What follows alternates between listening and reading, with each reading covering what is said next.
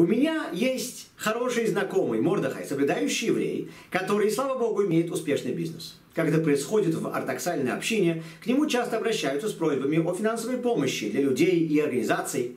Я заметил, что каждый раз после того, как он выписывает кому-то чек и провожает этого человека, он бормочет себе под нос. Стыдно быть тунеядцем. Впечатление, что он порицает тех, кому он помогает, за то, что они не справляются сами – но я хорошо знаю Мордыхая, и на него это не похоже. Однажды я видел, как Мордыхай разговаривал с кем-то по телефону, пытаясь найти время на новую хевруту, учебную сессию Торы. Это было не просто из-за его занятого расписания, но он это сделал. И после того, как он повесил трубку, он снова пробормотал себе под нос. Стыдно быть тунеядцем. Кто здесь тунеядец? О ком он говорит?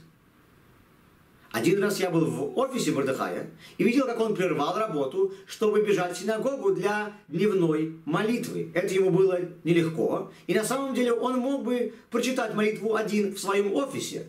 Но поскольку лучше молиться с миньяном, он пошел в синагогу, снова говоря самому себе, «Стыдно быть тунеядцем». После этого я уже не мог удержаться и спросил у него, кто эти тунеядцы, о которых он говорит – это я о самом себе, сказал он мне. О себе? Кто-кто? А Мордыхай – это последний человек, которого можно назвать тунеядцем. Но Мордыхай объяснил. Как правило, то, что люди имеют, зависит от того, сколько они зарабатывают.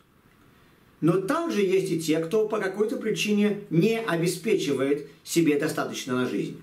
Наше общество очень великодушно и оказывает им социальную помощь.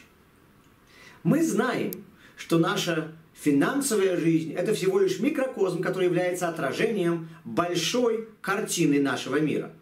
Смотря на большую картину нашего мира, мы знаем, что заработки и здоровье и все остальное, что мы имеем, мы на самом деле получаем от Бога. Наша работа и медицина являются всего лишь каналами, по которым Бог нам все это посылает.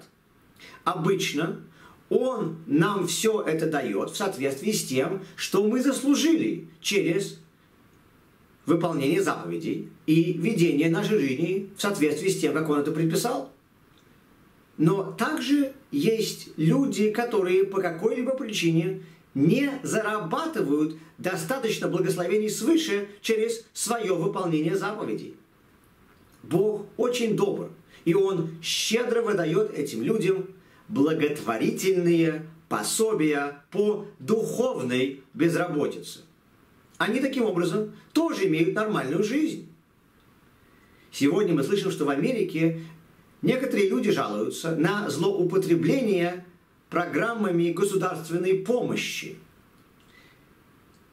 Видно, что люди также выдвигают подобный аргумент о злоупотреблении программами по духовной безработице – это те люди, кто постоянно задаются вопросом, почему злодеи иногда очень хорошо живут.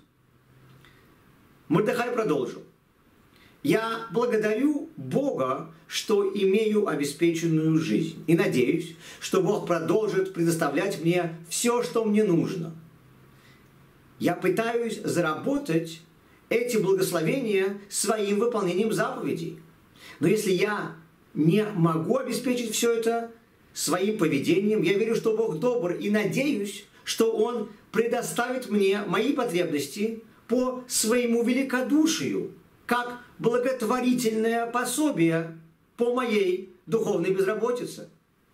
Но я предпочел бы зарабатывать свои благословения сам, выполнением заповедей, а не получая пособие по духовной безработице – потому что тунеядцам быть стыдно.